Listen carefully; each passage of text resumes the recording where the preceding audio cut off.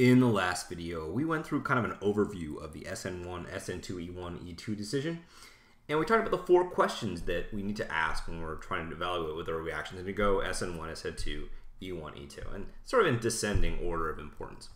So today, we're going to look at this first question, the type of substrate uh, the carbon attached to the leaving group is a primary, secondary, or tertiary. And we're going to save these, these other questions for, for later videos. So today we're just going to focus on looking at the type of substrate and trying to answer what they can tell us about the type of reaction we're going to see.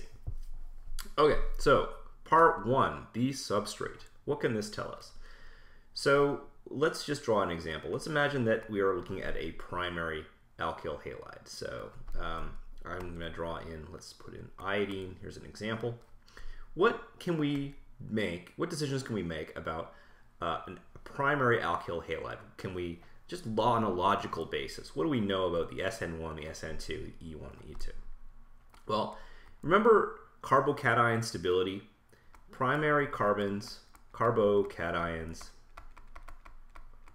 are the least stable, okay, and they are the least sterically hindered.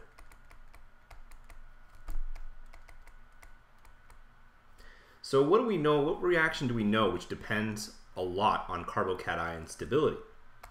Well, that would be the SN1 and the E1 reactions, right? The key step in both the SN1 and the E1 is formation of a carbocation. So this is not, if we see a primary alkyl halide, we know it's not going to be SN1 or E1. We can, we can very confidently rule out the SN1 and the E1 reactions. It's extremely unlikely that we're going to form a primary carbocation. And knowing that the primary carbons are the least sterically hindered, what reaction do we know which depends the most on steric hindrance, right? It's the SN2. The SN2 is, is going to be the most favored because we sometimes call it the big barrier for the SN2 reaction is steric hindrance. So the less steric hindrance there is, the faster the SN the, the faster the reaction is going to go. In this case, faster the SN2 reaction is going to go. And we haven't really talked about the E2, but we can say that with a good degree of certainty that if your alkyl group is primary, you can really pretty confident saying this is going to be an SN2 reaction going to be an SN2. There are, you know, I'm not going to say there's there's no exceptions to this, but this is almost certainly going to be an SN2.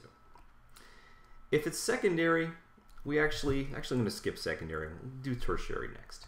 If it's tertiary, what do we know about tertiary carbons? So here's an example of a tertiary alkyl halide. Let's put a, you know, could have a bromine here or tosylate or something else, which is a good leaving group. Remember what we know about tertiary carbons is tertiary carbocations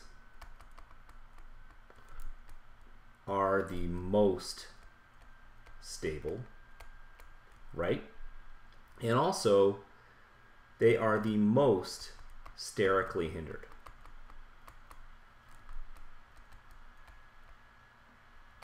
And rather than saying that because they're going to be the most stable. Remember, this this favors this is going to favor SN1 and SN2. Sorry, SN1 and E1. Sorry. Um, we can't definitively say that that it's going to go through SN1 and E1 at this point yet. We don't have enough information, but we can certainly rule out the SN2. So rather than just like confirming, I think it's better to, to rule things out, to, to deny or to, to falsify. So rule out the SN2 if you see a tertiary alkyl halide. It's not going to go through the SN2. Okay.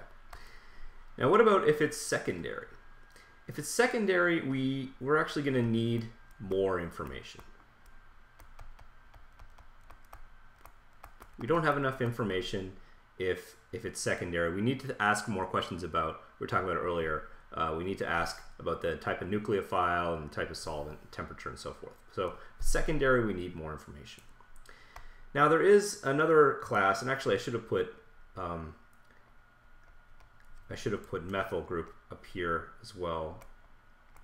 Um, so if it's methyl, you can guarantee it's going to be SN2 because actually we wouldn't be able to have an elimination reaction. Okay, besides methyl, there's one other class that we should discuss, and that is those sp2 hybridized carbons. sp2. So for example, if you have an alkene attached to a Br, or if you have a benzyl or a phenyl group which is attached to a leaving group like like this, like OTS. In these cases, no reaction. No reaction. We can't have an SN2 reaction occur on an, on an sp2 hybridized carbon. We also, for the purposes that we're going to be looking at, can't have an E2 reaction occur on an, SN, an sp2 hybridized carbon. So if you see a leaving group attached to an alkene of some kind, you're going to be looking at no reaction present. Okay, so no no reaction possible. So if you see that, that's the decision to make. Okay, so this sort of sums up some of the major issues with the substrate. Like I said, if it's primary, you, you can rule out, you know, you can you can rule out SN1 or E1. It's probably going to be the SN2. If it's tertiary, you can certainly rule out the SN2 you know, might also be the E2. We need to be able to rule that out in the next step. So let's just look at a couple examples to make it a little bit more concrete. Okay, so in example one, we've got NaOH. We've got an alkyl halide. What type of alkyl halide are we looking at here? Well, it's primary. So primary, we said almost certainly SN2. So SN2, what would that product look like? Well, we'd be breaking carbon to bromine, we'd be forming Remember carbon to oxygen.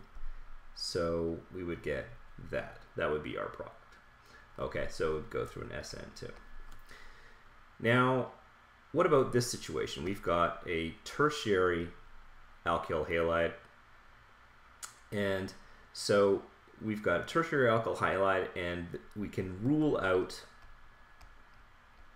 we can rule out SN2 here we can't quite yet, based on the information we have, we can't make any other decisions. We, we haven't ruled out the E2 yet.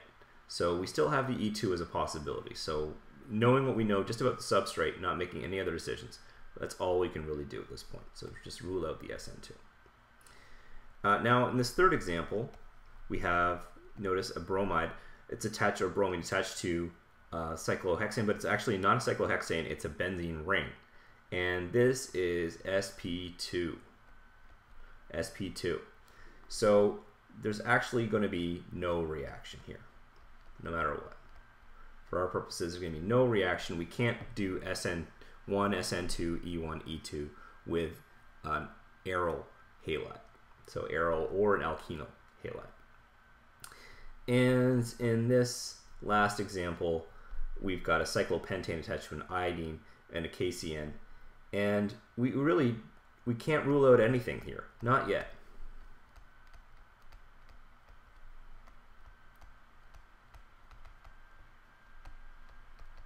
We can't rule out anything yet. So we're just going to leave that as it is.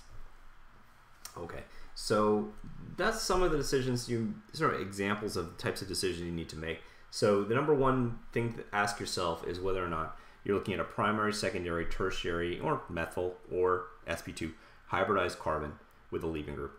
And from there, you can make certain decisions about what reactions to rule out and what reactions um, may may not be possible.